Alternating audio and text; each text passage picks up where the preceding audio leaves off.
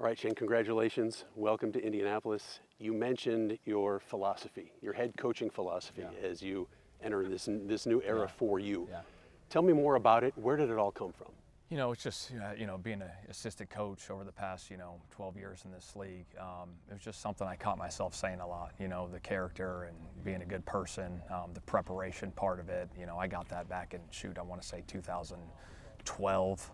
Um, I saw that quote, the separations and the preparation. And I truly believe there's so much parity in this league that you got to come to work every single day because if you don't show up on Sundays and you're not prepared, uh, it can it could go bad in a hurry. So uh, the preparation part of it's going to be big, and then just being consistent with what we do uh, and doubling down on the things we believe to be true um, every single day. And uh, we got to do that as coaches, uh, and just the relentlessness. You know, I, I think you know I saw you know AJ Brown. Speaking of AJ Brown, I, you know I talked to him in the press conference, but he's got a tattoo on his leg that says "relentless," and uh, that's something I truly believe in. And when we signed him, I was like, shoot, that's one of the things I truly believe in. And and they have players that are relentless and obsessed with their craft.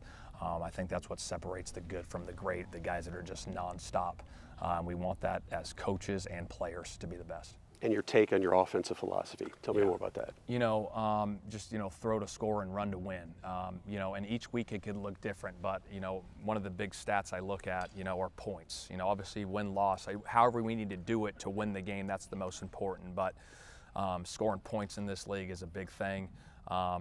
And I think you can throw to score and run to win. Uh, I just truly believe that. Uh, and like I said, it could look different every week. People ask me sometimes, like, "Hey, what's the you know what's it going to look like?" Well, I kind of have it in my head, but I'll tell you about midway through the first quarter what it's going to look like.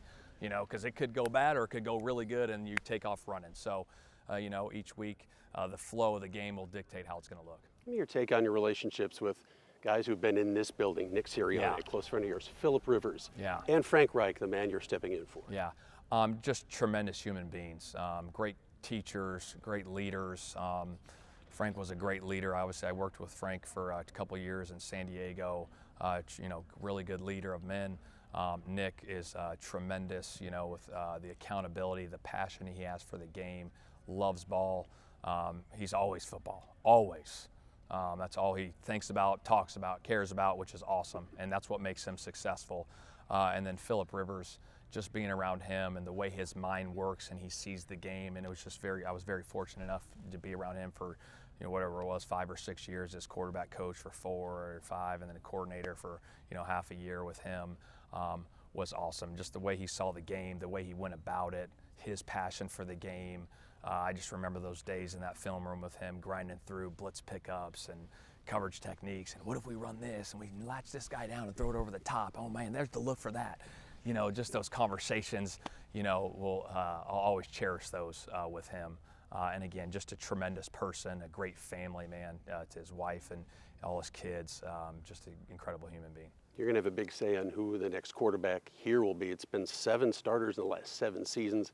Not, that's certainly not how to win. How are you going to approach that? Uh, you know, we'll have a detailed approach. Me and Chris, Mike Chris, and the rest of the staff will go through that. You know, these next couple weeks leading up to everything, and uh, obviously look at all positions. You know, it's, it's it is you know the quarterback is a big part of it, but obviously uh, all positions are big too. I know you know a little bit about this roster, preparing for the Colts when you played them earlier this season. Yeah. What's your quick take on what you have here? Oh, I think there's a lot of good pieces in place. Uh, there is obviously defensively. They, you know, they were toe to toe with us on the wire. Uh, you know, going through that uh, game, um, unbelievable. And then obviously they got some good pieces on offense, and we just want to continue to build uh, to the talent that's already here. Lastly, what does it mean for this day to, to happen for you, getting this job? I'm sure it's been a dream. Yeah, absolutely. Um, you know, it's something you know you always dream of uh, when you get into the business. I think most people, you know, want to be head coaches. Um, some don't, but I think most do. And uh, to be in this position, again, just extremely grateful uh, and humbled uh, by this opportunity,